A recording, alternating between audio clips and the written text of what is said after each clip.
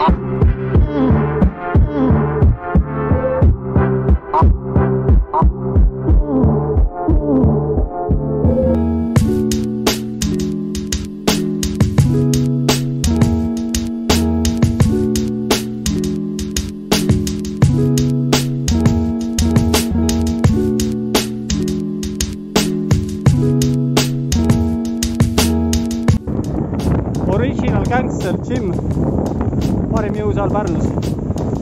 aga meie sõit saab kohe läbi. rullikutt on väsinud. kohtume järgmine kord